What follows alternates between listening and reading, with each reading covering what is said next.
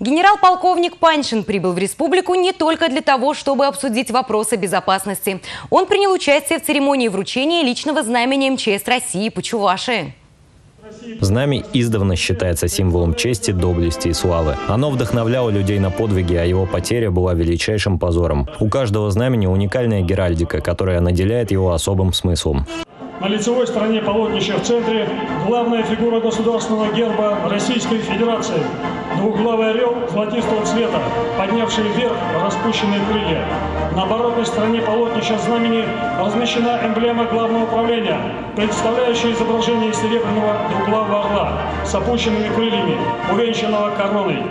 Орел держит в лапах щит с эмблемой древа жизни, выполненный на основе древнечувашского рунического письма.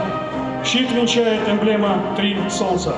Привез знамя в Чувашию и вручил его личному составу начальник Приволжского регионального центра МЧС России генерал-полковник Игорь Владимирович Панчин.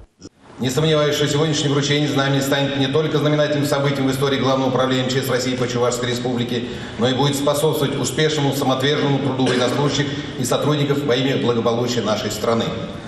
Поздравляю всех присутствующих с этим знаменательным событием и желаю здоровья, бодрости и успехов в нелегком ратном труде на благо нашего Отечества.